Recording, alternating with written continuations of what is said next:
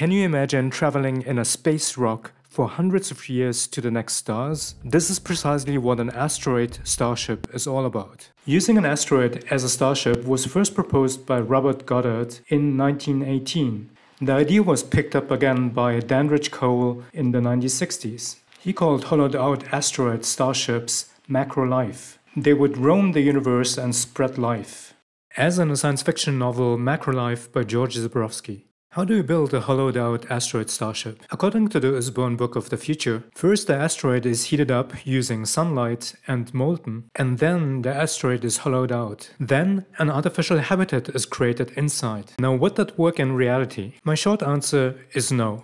For one, it's much easier to use the material from an asteroid and create an artificial habitat than melting the asteroid itself. And second, the characteristics of the asteroid might not be suitable for a starship.